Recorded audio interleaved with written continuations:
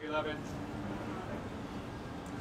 We continue uh, growing and building in, in our uh, building up the teaching of St. John in the first reading, this first letter to this small church or small community. And today we're beginning to see some of the main points he's getting to, some of the culmination. He's been telling us, remember, to uh, this is how we know that we love Jesus, or that we we remain in Jesus and abide in Him, and He abides in us, and His love abides in us. Is that we we obey His commandments and live out His commandments. So if we live out those commandments, we uh, have Jesus within us. We possess Jesus. And then today he's telling us uh, this is the great testimony, the great good news. God gave us eternal life. And this life is in his Son. And so whoever possesses the Son has this eternal life. So this is the point of, the, of obeying the commandments, living that lifestyle of Jesus Christ, is so that Jesus uh, dwells within us, so that eternal life it dwells within us. So it's a, a good reminder for us that eternal life does not happen or start after we die, but eternal life is something that begins right here, right now, in relationship with God, relationship with Jesus, the Father, the Holy Spirit, and His community, the church.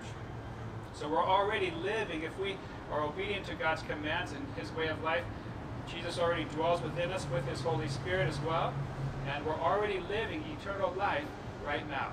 I don't know if I'd call it heaven, but eternal life right now. We're already living and participating in this.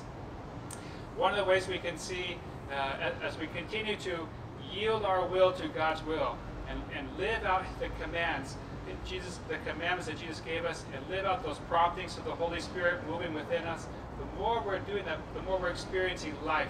And how to and, and one of the signs that we're experiencing eternal life or living the eternal life is that we can say we're experiencing greater freedom. We're living greater freedom, experiencing greater freedom as the more the life of God grows within us. So remember, at the very beginning, he said, Who indeed is the victor over the world, but the one who believes that Jesus is the Son of God, believes with the actions of our life.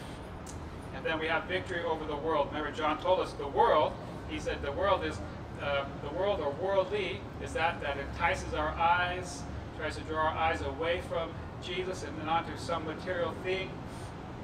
The world is full of lust, so it draws us away from love and into lust. And the world uh, is that it tries to gets us to try to build up our pride of life, to build up our own reputation instead of uh, living for the life and the name of Jesus Christ. And so we have victory over those three things to the extent that we're living out God's commandments. And, and then, in a sense, the victory we're experiencing is the freedom freedom uh, from pride of life, freedom from lust, freedom from being from uh, our eyes being enticed or distracted or drawn away from God and His, and his plans. So uh, that's one of the, the, greatest ways we can know we're experiencing eternal life even right here and now, as, is to look and recognize how we're experiencing greater freedom here and now by the life of Christ dwelling within us. Heavenly Father, we just ask you to continue to pour forth your Holy Spirit into our lives, your, your eternal divine life into our lives to help us live the lifestyle of Jesus Christ so we can experience um, the fullness of the freedom that you offer us. We pray all these things together. In Jesus' name, amen.